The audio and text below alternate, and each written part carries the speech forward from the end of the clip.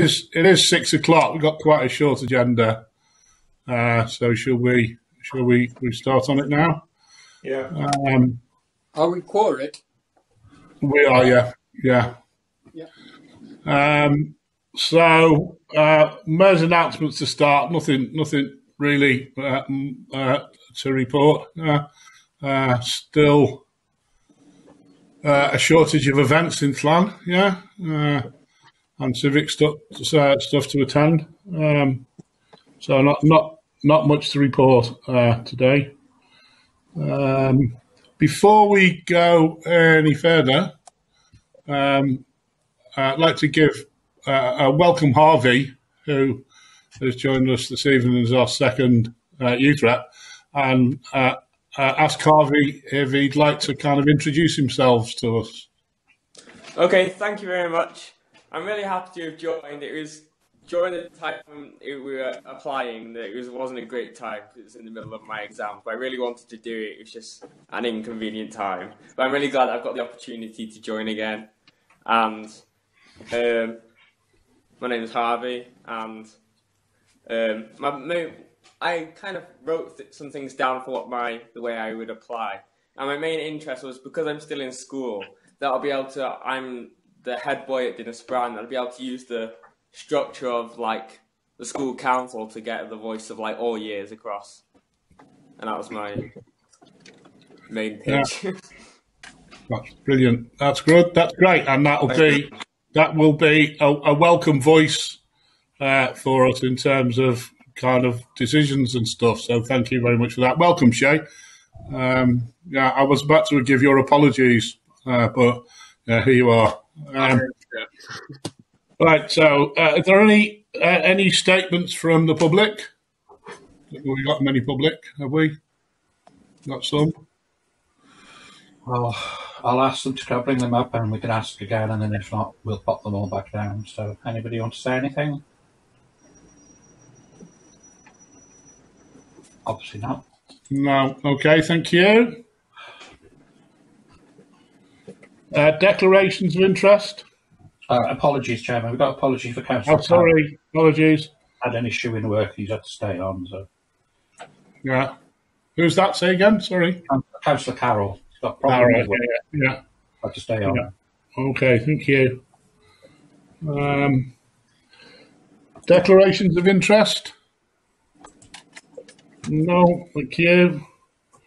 Uh, to authorise the minutes of the previous meeting held on the 15th of June as a correct record. Has anybody got any observations or comments? John? record. Yeah, uh, uh, you'd like to propose it, John, seconded by uh, Bob. Uh, anybody not in favour? Okay, thank you. Everybody in favour? Thank you. Uh, financial matters, which is the reason that we're here tonight.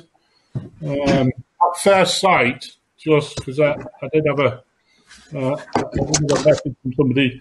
Uh, at first sight, it looks as though we've only got one agenda item, but uh, the the two on the side, which is in English, have been collapsed together. So uh, the first one is town ca- town hall emergency repairs, suspension standing orders, and financial regulations, uh, legal costs. Off you go, Gareth. Thank you.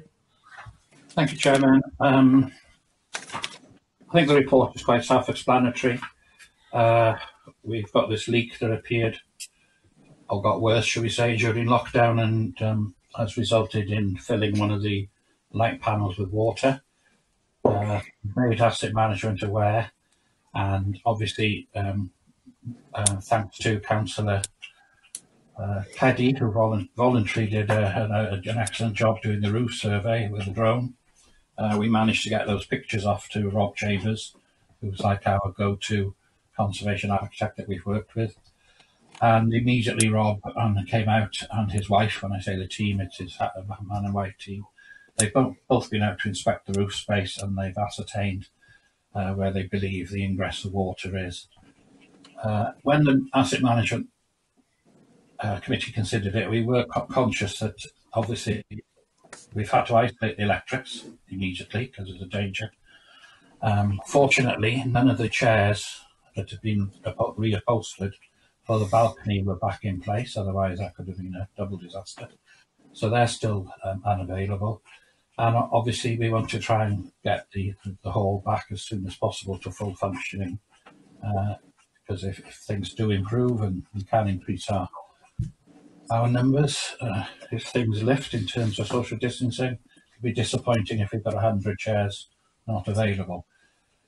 There's also the fact that uh, we are in the summer and our experience in the past when we went out to tender, it did take a long time. So the, the asset management activity were keen to move to this at speed. So as I said, we utilised the professionalism of uh, Chambers Conservation and they've come up with a solution to um, which detailed in 2.7 uh, where they would contact uh, Chambers and a few of the other, sorry, the Grosvenor and a few of the other contractors they've worked with, who bid for the works in the past to see what they could do, use the tenders received in the past as a baseline and using general figures from obviously uh, schedule rates that they know at the moment to come up with a price uh, to allow us to proceed as soon as possible. Um, to allow us to do that, clearly it's, as you can see, that they're quoting the figure that's going to be probably more than it was last time for the Western rules, and that was some £33,000, uh, exclusive of that. So obviously it's above our £25,000 ceiling where we you know, have to go to tender and get to get tenders in.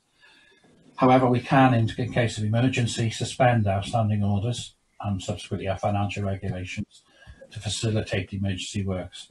I've done a risk assessment and I think it's quite clear to say if we don't do anything, there's a potential of more water coming in, more damage, potentially more damage to the electrics, possible fire even, we just don't know, things could short out.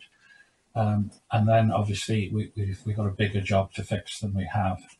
Um, and therefore the, on balance, the risk of not doing something outweighs the risk of, uh, of you know, having to do the process a long-winded process in some respects of tendering, which could take a long time.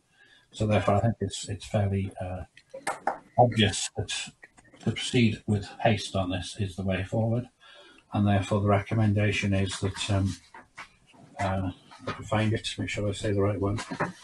Uh, first of all, you note the risk assessment uh, on this, and the, the matters to mitigate risk Suspend standing orders 18C financial regs 11B through to 11.1 to facilitate emergency repairs, and then appoint chambers to carry on with the work, which is what the uh, asset manager is keen to do, so that we can broadcast this as soon as possible, Chairman.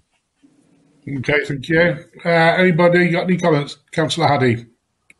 Just a very quick one. Can I just remind councillors that we're not discussing whether or not to spend the money. It's that's already been sorted out. This is to suspend standing orders and financial regulation. And our great yeah. pleasure in, in proposing that we accept those, those recommendations. Anybody like to second that? Thank you, Councillor Grinley. Uh, anybody not in favour of the Could, motion? Excuse me, excuse me, Chair. Could I just ask a question of the clerk before we yeah. go to the uh, recommendation? Um, it concerns me that uh, we haven't done anything prior to now. I understand that um, this was becoming noticeable last year. Can the clerk shed any light as to why um, we didn't start doing something last year, please? Thank you. Uh, well, um, the the extent of this, I'll, I'll, I'll, jump back a year prior to that. We did the works on the um, on the the area above the balcony, uh, which had a major leak towards the back tower before. Um, early on in lockdown, this wasn't as noticeable. It was a small patch, which obviously got worse. But if, um, well, sorry, sorry, don't be rude, you weren't a councillor then, so you couldn't have recalled, although you may have seen it uh, through the um, online meetings, that we had to obviously be careful on our our um, expenditure last year in view of the, the pandemic. So we did hold back on certain expenditure, and then obviously another project came along where we also had to safeguard the funds in case we had to fund that project. And as it transpired, that project didn't uh, come to the fore, but that money has obviously gone now into reserves. So we've been able to bolster our asset reserve and our general reserve. If you recall, we discussed that last last um, last month. Um, and I know Councillor Haddy's completely correct. It's not about the funding, but there is now 34,600 in reserve. And what with um, the project fund, which unfortunately is a bit less than it was last year, there's 20,000 in project. We could probably keep back about uh, 5,000 from repairs. And if you recall, we're not going to spend as much on um, non-domestic rates. So about another 5,000 is available there.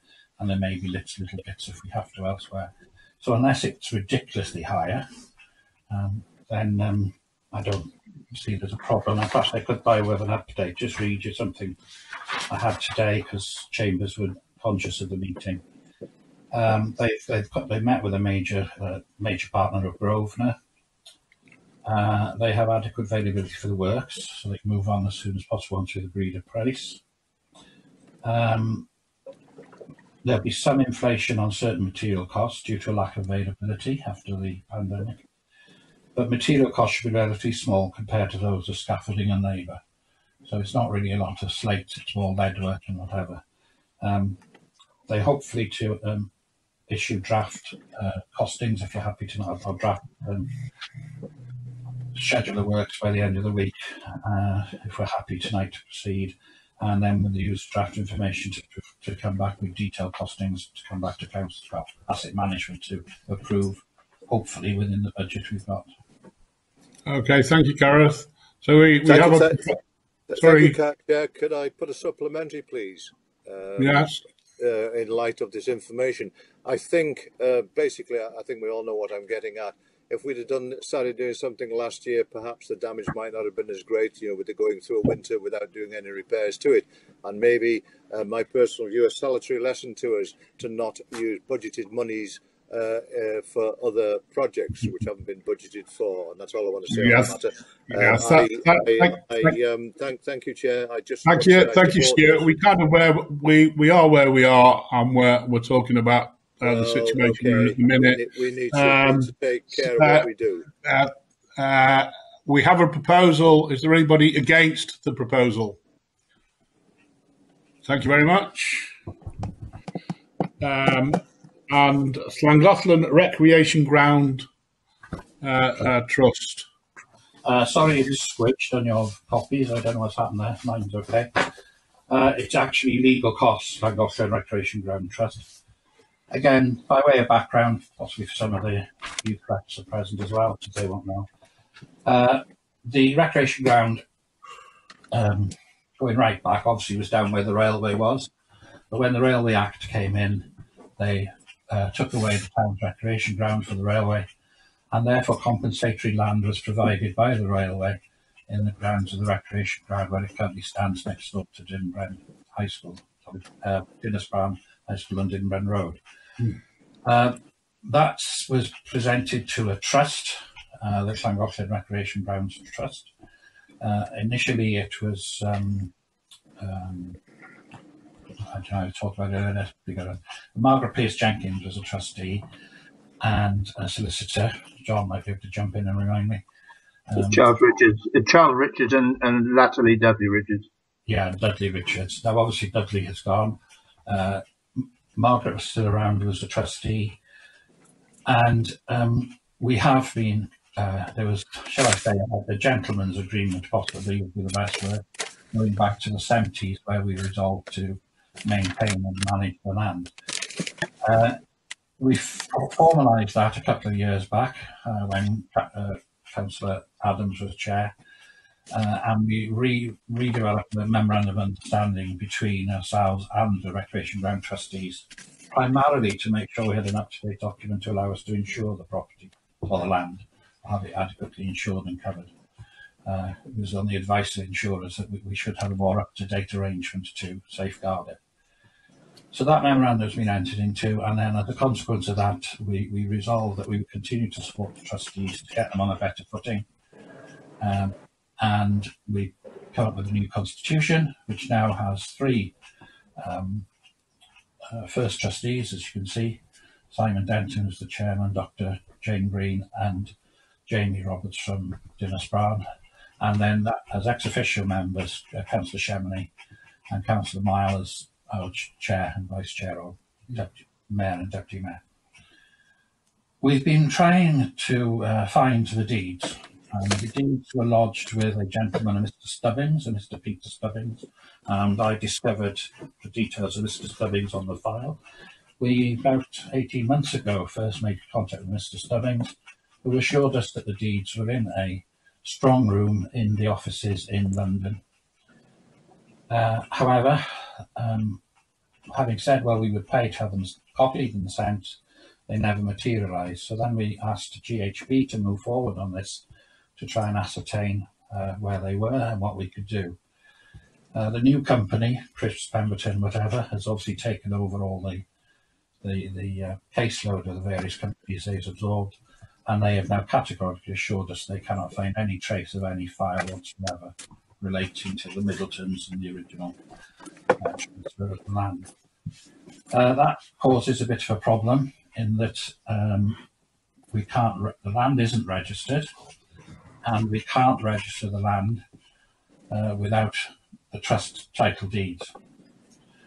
Um, as a consequence, and again, GHB have been doing this pro bono up to now, uh, they have suggested that uh, the only way forward is to re-register the land through the land registry, which can be a quite complicated business and does need professional sort of conveyancing type uh, people to put that through. And it involves a lot of what's already been done, but going around double checking all the files, all the documentation to to ensure uh, who's who owns the land, as it were.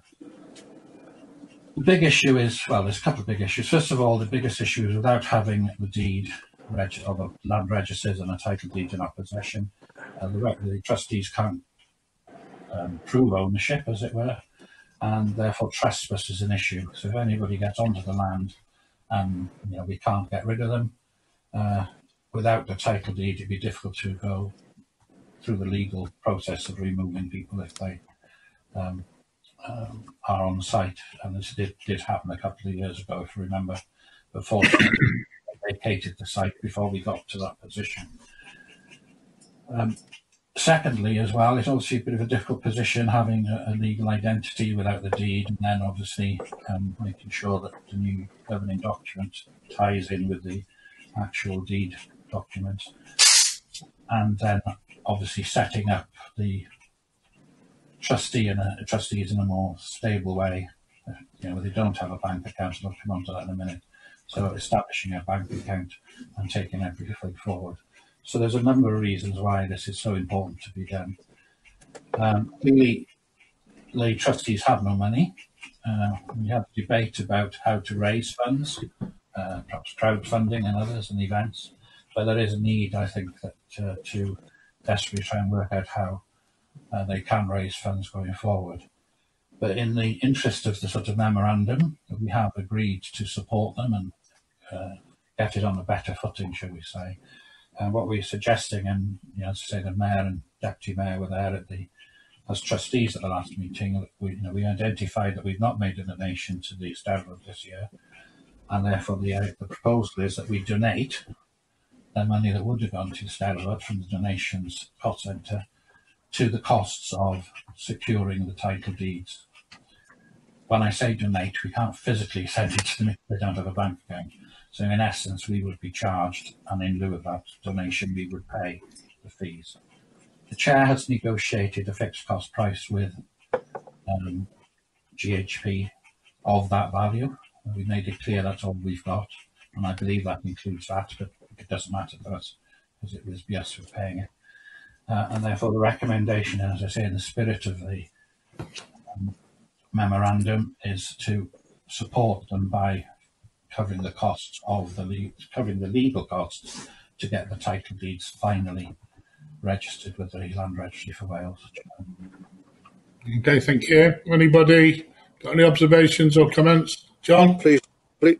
Oh, Uh, the the um, recently the the uh, the trust received a grant of five thousand pounds. Uh, would it be possible to transfer some of that across, since we've got no money either? Well, they, they didn't receive a grant. They received four thousand five hundred towards a cost of thirteen thousand pound project, so they couldn't accept the money because they couldn't go ahead with the project. Oh, I see. Right. They've got no money. Um, Okay. uh, that was to fence. That was a, a Puget Sums application to fence the whole area with modern Right. fencing to match what's on the corner of Dinbren Road. But because we, we, you know, we weren't given, we were doing the full amount, they'd gone ahead and done it. But obviously with no money, uh, so there's no Okay. money there. Right. Thank you. Okay. Councillor Anybody Davis. Councillor Davis has his hand. Yes. Councillor Davis. Thank, thank you, Chair. Yeah, and, uh, my um, immediate reaction to, to this is um, we're not an open checkbook. We are the guardians of public money. We can't just go throwing money uh, uh, willy nilly like I've seen being done pre- previous to me being a councillor. So, my first reaction is have we pushed the solicitors who said that the deeds are in a strong room somewhere and say to them, hey, hang on a minute, uh, you were um, guardians of these things. Um, do you not think that you should be paying to, to, to have this sorted out? That's that's one one comment. Uh, it's a rhetorical question because none of us know the answer, but I, I think it was it's still worth pursuing. Secondly, um, we as a town council seem to be hornswaggled a little bit uh, in as much as we seem to be the de facto provider of funds. I have talked to a couple of the uh, uh, of the previous uh, trustee and to a, a, a, current trustee, and I've said basically, um, I think that in this case, as the clerk has said, we as a town council have several choices, but the the best choice of it is the trustees need to. Um, get their act together. They need to get a business plan. They need to take control of this. If they if they want to be trustees of this, well, they need to act as trustees, and said in the nicest possible way to them, and uh, they understood this. So I think if we supply this money, this is the last chance, um, last chance saloon. We we give them the money from uh, the monies identified by the clerk and make it quite clear it is provisional on them coming up with a business plan to make this uh, trustee um, thing work properly, they will need to have a look at getting some income from somewhere. Um, I know, I understand there is some, and it is used for grass cutting, etc., etc., etc. But we need to sit down and say, hang on a minute, uh, yes, here's the money, this is it. Uh, and then afterwards, the trustees should work as trustees, and they should run it themselves and run it on a um, profitable basis, so they don't have to keep coming to us for dosh. Thank you very much. Councillor Haddy. Very interesting to hear Councillor Davis's views. However, it has been an ongoing problem this for many years. Um, and uh, uh, he speaks as if he was speaking on behalf of the council in his statement just there, which isn't the case. We, we've spent a long time over many years um, sorting out the trusteeship of this organisation, and as the town council was the de facto purse uh, to which the trustees uh, came when there was a problem, uh, we had over many years negotiated an eventual outcome whereby the, the town mayor and the deputy town mayor were trustees uh, of of the thing. We understand that in the long term they need to raise their own cash. They need to be able to um, uh, supply their own finances, but that's not the subject of what we're talking about tonight. Tonight, we're talking about defraying the legal costs of ensuring that the land uh, is properly secured. So, And on that, responsibility. on that basis, I, I think we should proceed as recommended. Okay, we have a proposal from Councillor Haddy that we uh, proceed. Anybody like to second that? Uh, before we go, Chair, I did make an No, then- amendment. With, with the, uh, I did make an amendment, Chair. Should we vote on the amendment first? Uh, can you can you remind us of your amendment, please, Councillor yeah, the amendment David? was that, uh, yeah, the amendment was that um, with the proviso that uh, I've forgotten what I said. I don't, I Um, don't no, the recall that provi- anybody the seconded it. uh, Sorry, sorry, say that again, Chair. Can you can you can you make your proposal? Then we'll see. Uh, we'll uh, we'll we'll um, we'll put it to find a seconder. Yeah. Chair, if it helps, from from what I noted down here, I think Councillor uh, Davis wished to say that the payment should be made on the proviso that we get assurances or um, some other word, perhaps assurances that uh, the um, trustees uh, move to preparing a business plan to look at the cost implications and ways of fundraising in the future so that they're not, you know, necessarily coming back or ultimately falling on us to make payments. I mean, there's Thank nothing stopping them approaching us to give them a grant. That's a different matter. But um, I think that's what the gist was, Chair. Yeah. Yeah, thank, thank you, thank you, Chair, uh, clerk, Mr. Clerk. That's my Uh, amendment. so, uh, there is a uh, there is a proposal as just described by Gareth. Is there a seconder to that? I'm sorry, Councillor Davis, no seconder. Go back to the original proposition, which is Councillor Haddy. Anybody like to second that? Yeah, thank you, Councillor Lube. Anybody against? Right, thank you very much. Right, okay, ladies and gentlemen, a, a short meeting. Uh, look forward to seeing you again in a couple of weeks' time. Yeah. Uh, have a nice evening.